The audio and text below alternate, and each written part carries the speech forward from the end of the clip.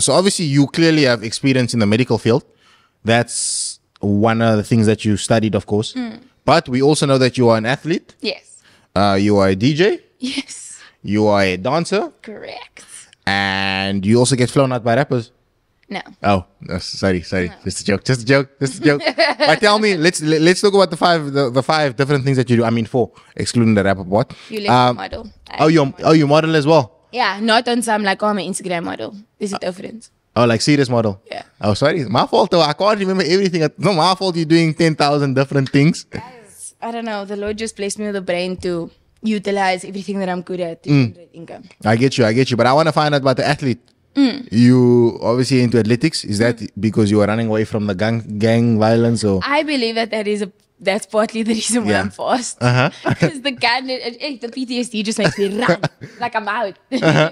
but um, yeah, I didn't know I was an athlete until I went to Belgravia. Mhm. And so, what what were you? What exactly were you were you, were you on though? Were you like just No, doing athletics at school, or were you athletics uh, seriously? I like, just talk me through your athletics journey. athletics, cool grade 10 and 11. Um, you you're gonna try out. Yes, I was the fastest at the time, but um, nobody ever taught me about the fact that if you go to champs champs, you make province team. There's more beyond that. I didn't know that. Yeah. So grade 10, yeah, I made champs champs, but in my mind and in my mom's mind, it was taxi, fare to Vygieskraal, and then like some registration fee, which was so unnecessary. Yeah. Like I so I didn't do it in grade 10, didn't do it in grade 11, grade 12, I was like, nah.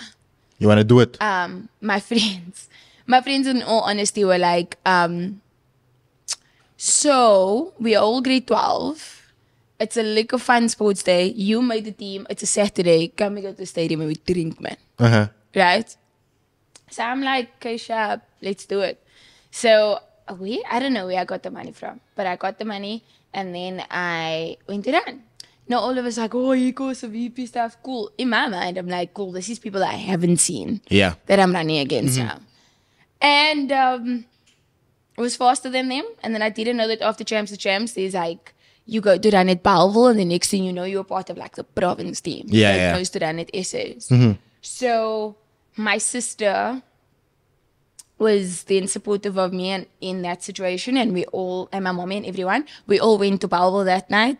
Um, champs of champs, no. So this is now where you make the province team. Yeah. Same thing happened. You won again? Yes. Wow. And then I'm faster than you though, but away. continue. that's fine. You're supposed to be. If Oh. you weren't, that be concerned.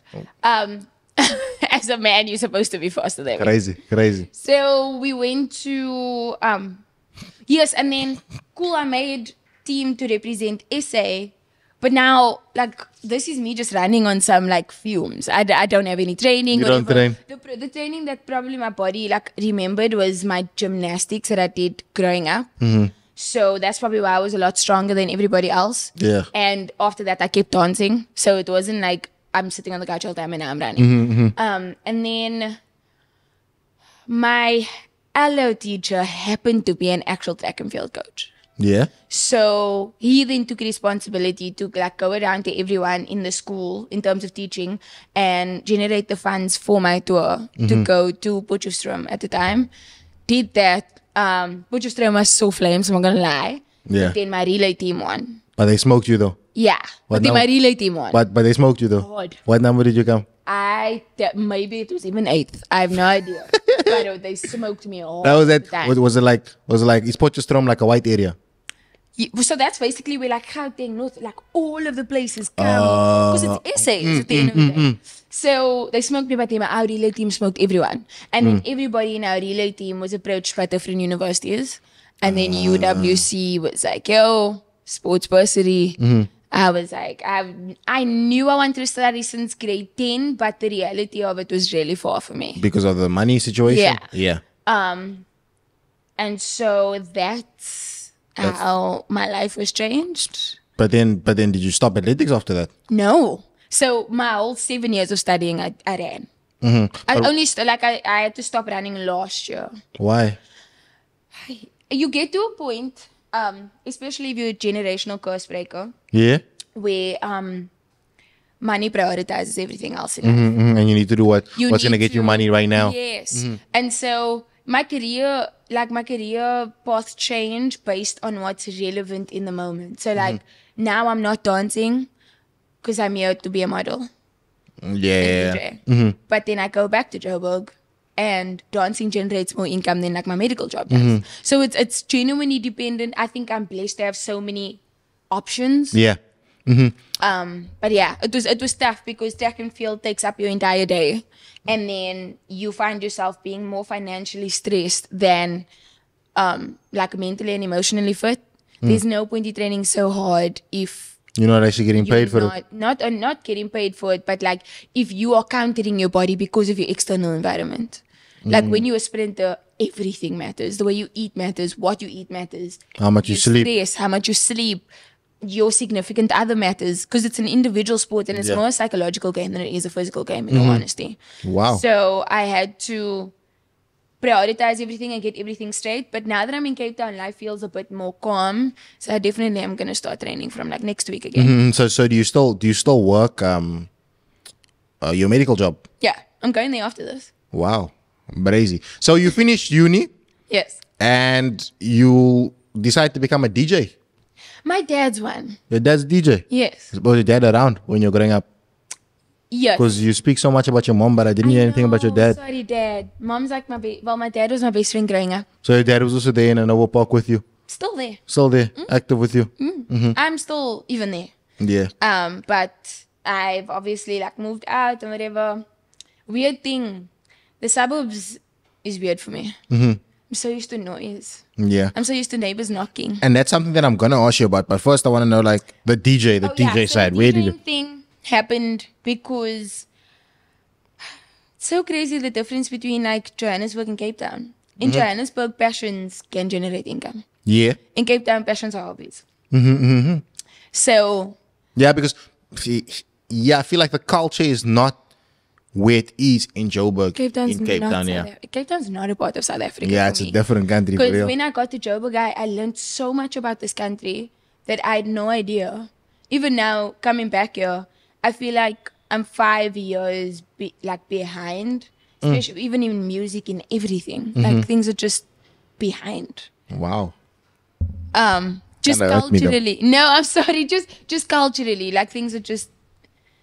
I don't know if we if we don't Yeah. Town choose to invest in like our own things that are created in our own country, but like our country is being put on the map because we've decided to look at ourselves and flourish in like our own ways. Mm, like amapiano, yes. for instance, and Yeah. the likes of yeah. There's just so much people that have done things because of their originality, Yes. not because of trying to be like someone no, else. Exactly. Mm-hmm. Mm-hmm. So yeah, I think Ca- Cape Town's very like European and either American based, depending on what you are mentally to yourself. And um, when I went to Joburg, I realized that like being South African is such a flex. It's it's It's a- it's a big thing, yeah. Yeah, but um, DJing happened because yeah, Joburg, you can make more money than a medical profession in like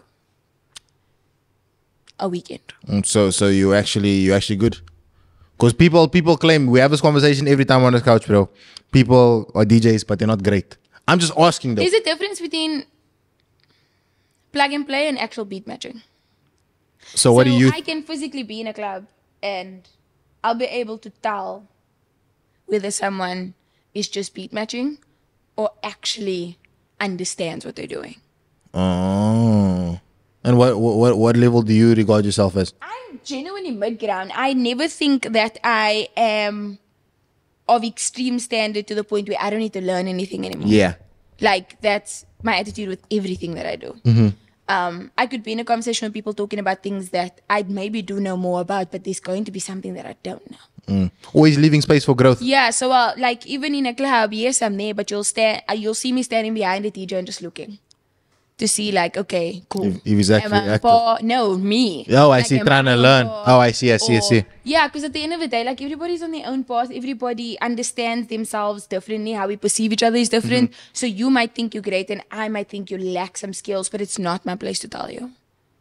Like, because you might see the same in me, Yeah. but somebody who is teaching you has the right to do that. Mm, of course, of course, of course.